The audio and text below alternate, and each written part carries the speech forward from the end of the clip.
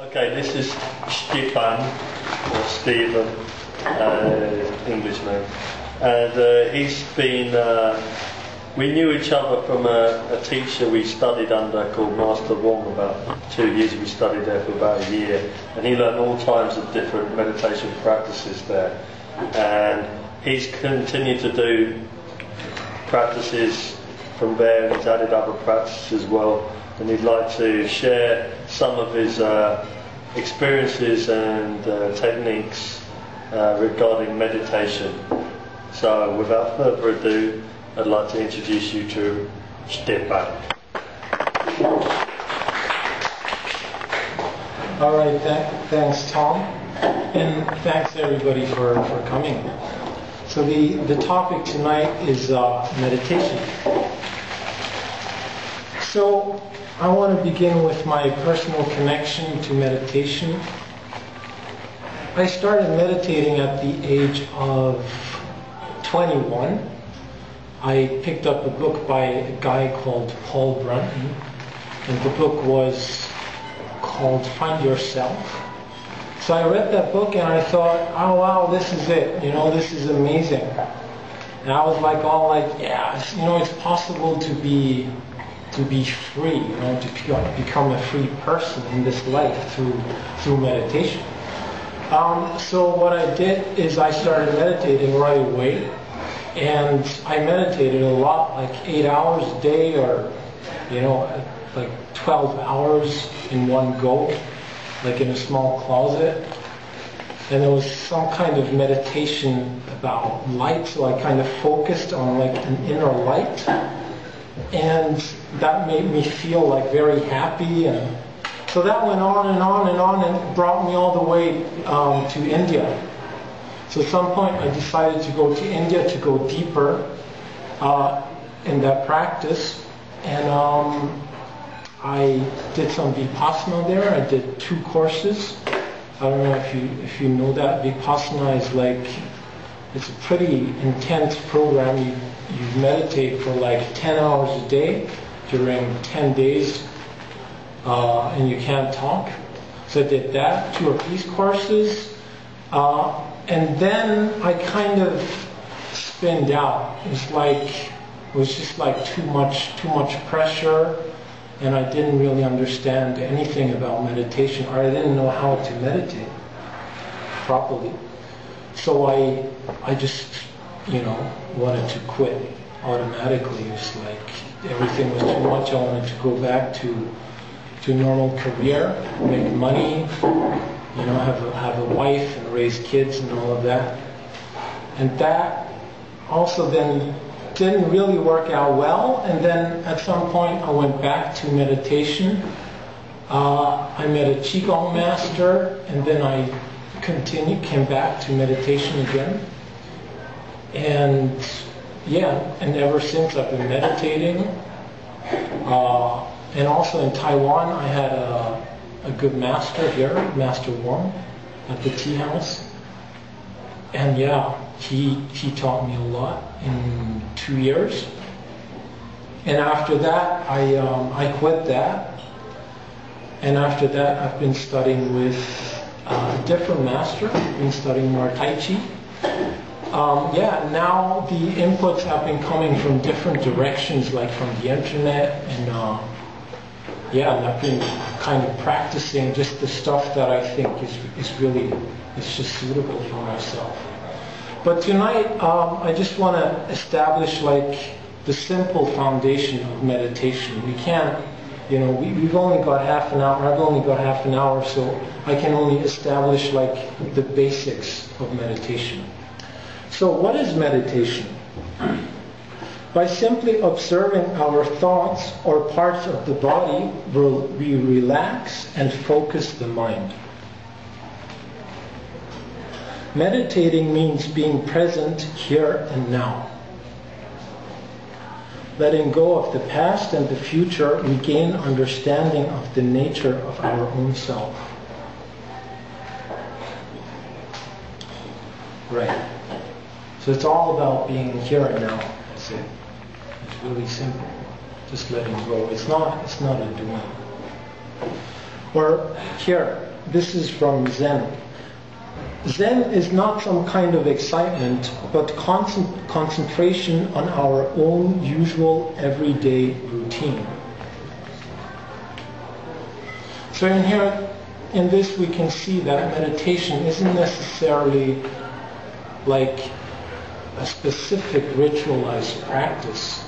It can be something that we do in our everyday lives. So, you know, it can be that we meditate when we're in the MRT. You just sit in the MRT and you meditate. It just happens. And actually, I believe we do meditate, all of us, um, throughout throughout the day. And it doesn't necessarily have to be like in a certain form. Um, this is another uh, Zen quote. For 20 years I've sought the other. Now, letting go, I fly out of the pit. What use oneness of mind and body? These days I only sing la la la. That's Kesho Shogaku, 15th century. Poems of China and Japan. Or here, um, this one's Bruce Lee. All fixed set patterns are incapable of adaptability or pliability. The truth is outside of all fixed patterns. So I don't know, maybe we have to let that sink for a moment. The truth is outside all fixed patterns. So truth is not, are not our patterns. What are our patterns? Our patterns is that the way in which we function in life. And we normally believe we are that. We believe we are our thoughts. We believe we are that what we do. We believe we are our body. And now Bruce Lee says, no, no, no, it's not that. It's outside of that. He says we can we can see that we can see through our patterns, and the idea of that is when you see through it, where by seeing through it, you are not that. So it's it changes. It's a change of perception. So, oh, and we have one more. This is the the Tao Te Ching. This is an amazing book. You can, by the way, get this on, on Amazon. I can really recommend that. 48. In the pursuit of learning, every day something is acquired. In the pursuit of Tao, every day something is dropped. Less and less is done until non-action is achieved. When nothing is done, nothing is left undone. The world is ruled by letting things take their course. It cannot be ruled by interfering.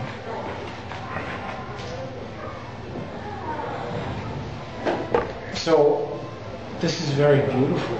This points to the core of meditation. Aren't we all about interfering with our lives like all the time? Well, I don't know how it's for you. I know that that's how I function, you know? Get up in the morning, what can I do? You know, what can I change? What can I do to make things better, you know? How can I fix my life? How can I get a better job? How can I get better friends?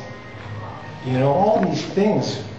And this is saying the exact, the, the exact opposite. It's all about letting go and just letting happen. So it's not about getting somewhere or achieving something. It's the other way around. It's just dropping, dropping it. So that's very, it's counter that what we're used to. Our, I think especially in the West as well, it's like we're very used to getting from point A to point B. It's like you're here, who are you in five years? what is your what's your career? You know, wh- who are you going to be? How are you going to make your money? You know, how are you going to be this and that? You know, and this is the exact opposite. You know, the more you have, the more troubled you are. Basically, that's what the Tao says. And he says, well, you know, just let go, let, let go of all of it, and don't interfere. That's the way of the Tao, and also um, the way of meditation. All right. Uh, okay, now um, you see on your your the handout the benefits.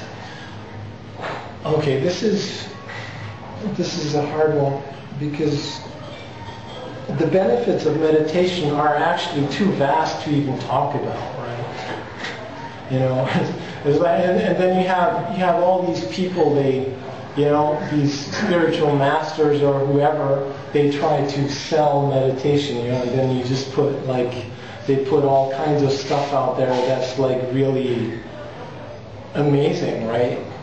Like nowadays we have like movies like The Secret or stuff like that where they, they talk about how you can materialize things, you know, just focus, focus on that in your mind and you can get like a new house you can get a new partner and everything, you know, just imagine that and that will happen. So meditation is not about that. Meditation is not about getting more for yourself. It's basically about uh, coming back to yourself, just being yourself. It's just being. So building, one of the benefits would be building inner stability, uh, the inner temple. So this is a place which we all know, a place we can always access. This is who we are. You know, the thing is, how hard is it to access who we are? It's actually, it's actually all that what we don't do. you know, if you're, you know, the way in which we function most of the day is actually running away from who we are because we think and we want to do and we want to organize and interfere. It's all that which we are actually not. To be what we are is just letting go and just being, basically. And in meditation, we can build like this inner stability that we can access this place. It just becomes more familiar so you can, wherever you are, it's like you access that place. If you go shopping, you buy something, suddenly you access that place and you're like, wow, you know, this is actually okay. I don't have to be there. You know, the mind, I don't have to, you know, jump. I can just be here. So this is, and this becomes more, should become more and more stable. So it becomes easier and easier just to be with yourself. It's, is basically really simple actually. Um, awareness, mindfulness, sensitivity, inward, outward. Um, yes, that can increase um, towards outside. We might start to see more things, little things that happen that happen I don't know, somebody dropped a coin like 50 meters away, you might suddenly notice like little things. Or, you know, just a lady with that, you know, who needs help or just small things you might notice, whereas before maybe you did, you didn't notice that as well. Um, and that's also towards inside. So we all have feelings. And the question is how do we observe them? I believe through meditation you actually, uh, it's like a magnifying glass. You see what is happening, but you see it even clearer. You know, it becomes bigger and bigger and bigger. You know. So that's called sensitivity. You become more sensitive to what's happening. Also towards outside, you might walk into a room and you absorb and you feel what's happening in that room. You feel how the people feel that live there, stuff like that. It's not, it's not something, you know, I, I believe we should go for. Oh, I have, I want to become more sensitive. It's not like that. I want to become more aware. It's not like that. It's all about who we are. So I'm just saying, this, these, these are, based, in a way, these are just side effects, nice ones. Uh, finding new ways to deal with problems and patterns. So, yeah, well, I guess the nicest thing uh, to see in our lives when we learn uh, is just that problems, problems that were there before just automatically drop away. So, you know, if that happens, you know, it goes on. But the thing is, you know, different problems come. So there's always something to learn. But at least we're learning, right? We're moving on. Patience, you might be more patient. When you buy something at the store, you just be with yourself.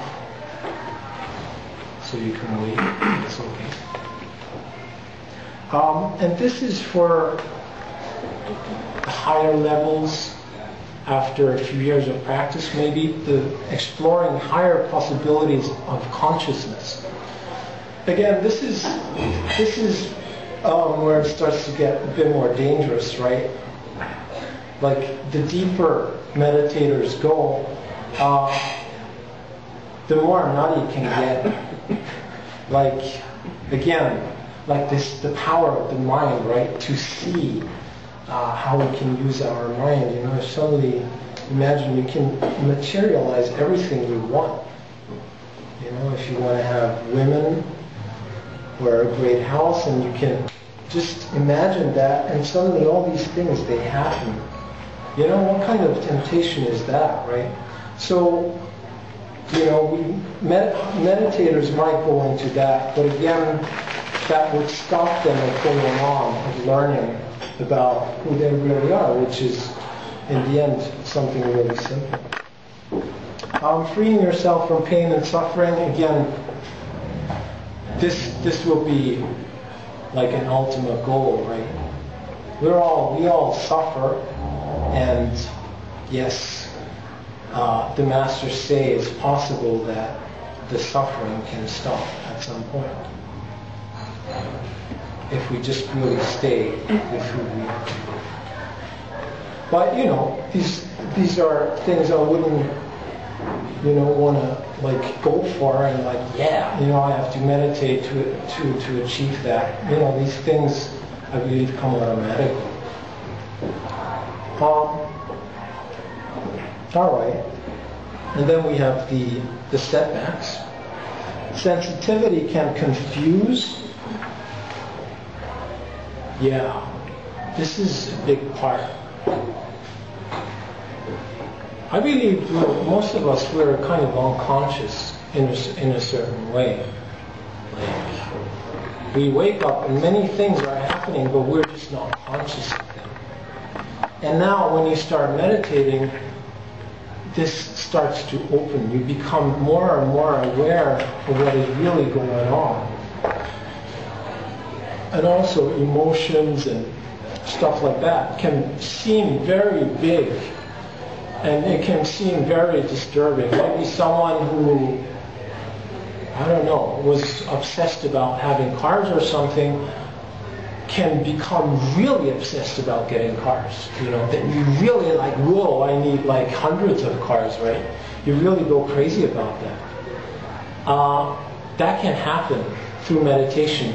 And that should be a chance to look at who you really are, that you actually are functioning like that. So it's, again, it's the same thing. It's just about who we are. It's just that you can look at from a different, different place. So that can be a bit confusing. Wrong understanding of meditation, um, following hallucinations. Um, I have experience doing that. I went to India and I did two Vipassana courses. And I, it's, it's a meditation with, with closed eyes. And I had hallucinations at some point, you know, like burning in hell, you know, I was sitting there like for hours. It's, it's like felt like someone's whipping me, you know, and I was burning there, and I was just caught in that and just felt like hell, you know, felt terrible. And then I went back to my cabin and I just started crying. It's just terrible, you know, so much pressure. You know, and later, many years later in Taiwan, I, I talked to, to Master and, and he said, well, you know, the re- reason why that really happened was because you really didn't understand what meditation is all about. Meditation is not about pushing yourself. It's not about doing that. It's not about being able to stay in one posture for, you know, 10 hours a day. So if you really push that and then you go into all these hallucinations and you really believe in them and you think that's what you are, then it, it, it goes down the wrong path. Falsified ego developing a spiritual, yeah, the spiritual superego is what I talked about before. That's, and that's huge, right? oh man, it's like, because it's so weird, because that what we are, what we really are, is so natural. You know, you can take like any lady on the street who just sells fruits, whatever, and she can be more herself or more with herself without knowing anything about any meditation or, you know, and all these concepts can really, really get into your way. You know, if there's a person there that wants to grab that because it becomes more and more lucrative, it becomes more and more juicy. You know? So suddenly, you know, you want you want to be like this amazing person with this amazing awareness or whatever. Even yeah, all this this Buddhist stuff, like you want to be compassionate, you want to love everybody, you want to be one with everybody. All that stuff, it just becomes more and more nutty, right? so that that's kind of the, the setback. yeah, it's it's it's so weird, right? So that's why that's why spirituality and all that stuff I don't think it's necessarily actually like this amazing key to truth, right? Because it can also like, as long as there's somebody there who wants, it just every you flip around everything and it just doesn't go anywhere anymore. So you know, just have to be careful about that. Results take take time. Um, meditation is an Eastern thing, and Eastern things in general take more time just like Eastern medicine, you know, you can't just take it and the pain's gone. It might take a few weeks. Um, and the same thing for meditation. It might, you know, you might feel something like right away, something really amazing. Some people feel something like right away. They meditate and after one half an hour, ten minutes, whoa, epiphany, you know, it's amazing. Um, but it doesn't have to be like that. You know, sometimes you just don't feel anything, you know. And that's why people in the West maybe they want to have something, they want results, they want to get somewhere, and then nothing happens. Like, dude, what's happening here? I want to see some results. And all and all you're doing in that is you're just trying to grasp grasp something, and that itself completely uh, lets you forget about all that you are, which is really simple. All right, perfect. Okay, so let's talk about the the preparation. So how can we actually meditate? First of all, the place. The place should be quiet. Um, turn off your cell phones or put them on, on Viber alert. Um, maybe close the door. Uh, you know, if you live with roommates, you, you maybe put out a sign saying you don't want to be disturbed. Um, fans, air cons. Well, I was told I was told by by a great master we should turn these off uh, in meditation. I never thought that was really great. I mean, you know, I don't I don't especially in Taiwan. Like it's so humid it's so hot. So I, you know, I don't want to be sitting in my own sweat and be like, okay, I'm meditating here. You know, it's, you know, I have to keep off the fan. I don't, you know, I, meditate. You just want to relax, right? And as Tom said just before, he told me, well, you know, I think it should be it should be fun. It should be pleasurable as well. And you know, there's truth in that. You know because actually being ourselves shouldn't be like, that's not, that's not like something that's really, should be really hard. It's just natural, just natural. All right, the floor, we use, uh, we can use two mats. That's maybe a good way to go about it. Uh, I personally don't like too hard mats, maybe not tatami mats, maybe a bit softer. Straw mats are, are pretty good. Uh, I bought a cushion in the, the Ola Mart. That's not too soft, not too hard. Yeah, just something you can feel comfortable on. So it's also good to have a second pillow, a second cushion that you can sit on so the, the back's really straight. So yeah, I don't think it's necessarily great to just sit on on one mat and then, you know, it's I find it kind of harder to keep your spine spine really straight. So that's it's just good to have an extra support, uh, a second second mat. Uh, no disturbance from others. Simple, tidy, and well ventilated environment. Yeah, the, the, the air should be good. You know, just a place in which you feel can feel comfortable, uh, and keep it tidy. Um, I think it's not great if you have like a meditation room with like too much stuff inside. Like from point of view of like chi flow, say if you have like loads of pencils and books and you know like stuff from work, it's like the energy like goes all over. It's just like you can't relax. Just being in that room, just looking at, at all of that mess, is not relaxing in the first place. So that's why it's good to just keep a really simple, clean, and nice room. Uh, maybe you have some incense there. And yeah, and you just sit down. Um, food. Oh, 10 minutes. Time's running out. Avoid hot foods, meat, and garlic. All right, I'm not telling here anyone what to do and what to eat. It's, not, it's up to you. There are great meditators out there that eat meat. There are great meditators out there that eat a whole lot of garlic. I'm just, I just want to share my experience with, especially with meat and garlic. Garlic, I believe, is the the worst. it's the worst, really.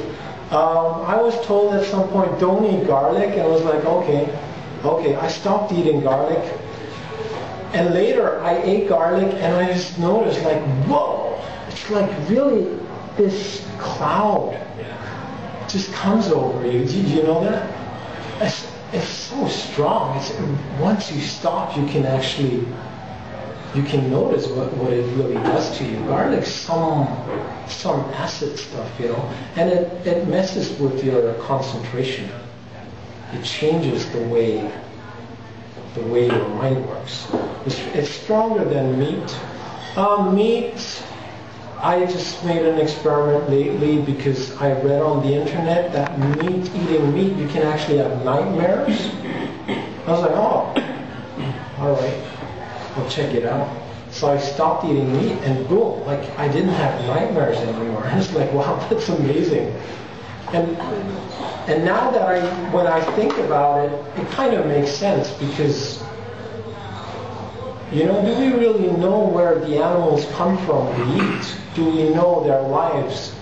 Well, actually, we don't. But you know, once you kind of look into that stuff, you might find that uh, these animals probably didn't have a good life. They probably had a horrible life, and they probably had a horrible death and a lot of suffering, and that was in their system at the time they died. And then you eat that, and it's in you. Well, yeah, you might have nightmares. you know, that kind of makes sense. Um, sex modest, modest practice of sexuality is recommended. Okay. Drugs, any kinds of drugs harm the practice. Um, yes, cigarettes. Uh, don't take heroin. It doesn't help. um, alcohol. I think alcohol can be okay. Just, you know, not too much. Some alcohol here and there as long as as long as we're still focused, you know, the, the mind can be focused. Even even if you drink a lot of alcohol, you can still be focused. You can still be here. There's you know even in martial arts, there are masters that do like the drunken style and all of that. it's kind of similar. I, I found alcohol not to be too annoying. Um, social small talk. Um, and getting lost in daily activities would harm the practice.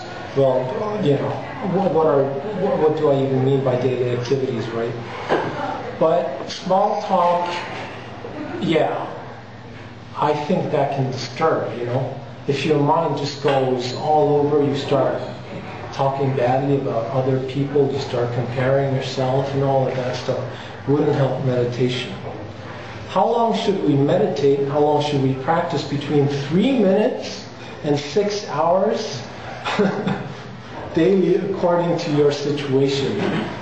So yeah, I mean this is this is an invitation. I you know everybody has to know for themselves. You know if you want to do it, and if you want to check it out, if you want to try, I think you know maybe you can benefit something if you just do three minutes. Why not? Just sit down, do nothing for three minutes, just be with yourself. And then in time, maybe you can increase, you can do more if you want. You know, but I, I don't think it makes sense to like meditate uh, 10 hours a day, like, you know, like playing tennis or something like that, playing golf. You know, does it help if you play 10 hours a day? Maybe not. You know, maybe things just get too tied up. It gets too serious and too nutty. That's why I think it's maybe good to say, okay, you know, just keep it, you know, six hours max. Um, techniques. What do I have? 30 seconds to explain this? oh. Now we have 20. Okay, I'll have to do some overtime. Um, there's this lady here on this picture. Uh, maybe you can see that. How to sit down. This is the, the seven point meditation practice. So the seven points are, I'll just go through it as fast as possible. Number one, legs. So legs crossed, that's great. She's in a lotus position, position. If you can do that, that's great. Don't overdo it. Don't break your legs. uh, I think it's good to feel comfortable with your legs, you know. It's okay if you just sit down on a chair. That can be okay too. Um, the spine should be straight though. This is very important. I go to the temple almost every day uh, to meditate, and I see people there. Some of them are sleeping. That's okay. They go to the temple to sleep. But um, if you want to meditate properly, to keep, you know, you need to keep the spine straight because the energy moves through the spine. Um, where am I? Shoulders relaxed, uh, open but relaxed. Chin tucked in a bit, not too pride and not like sleeping or depressed. Um, the tongue touches the upper top of the mouth gently. The eyes are either closed or open. That depends on the uh, the meditation technique. But yeah, um, it's good to respect open eye meditation. I think it's always a good place to go. especially when the mind goes, does the whole hallucination thing, like I was saying before, the whole hell thing, just open your eyes. You know, just like, okay, just look at what is in front of you. Um, what else? Hands, um, just like the lady here, left hand on top, and the thumbs like that. That's that's a great way to hold your hands. I don't do that because my arms are really long, so I just let them hang. So I don't know. You know, you have to find your own way, but it's it's good to stick to these points. All right, that's that. Closing. And right, closing, final, the technique in 10 seconds. So what we can do is we can sit in the seven point uh, posture and then we can close our eyes and then we just count the breathing. You breathe in, you breathe out, that's one. Do it again, two. Just relax, observe the thinking, see what you're thinking. No future, no past, stay here. That's all you do. And you go up to 10, and when you're at 10, you go backwards again. 10, 9, 8. And in that, in the counting as well, you can see if you're really with the meditation. Because if you go off like on, on, on these, this, this thinking trip, like, oh, oh, I think I need to do that still, and, then you forget counting. Well, I was at four. What happened? so you just follow that, your breath like that, and you focus. You focus on your breath only, and you feel it. You, you feel the breath in your your nose, and you just focus on that, up and down, up and down, and you just yeah, that's how you can practice. That's a simple uh, Zen technique. That's a good way to start. All right. Thanks for listening. Thank you.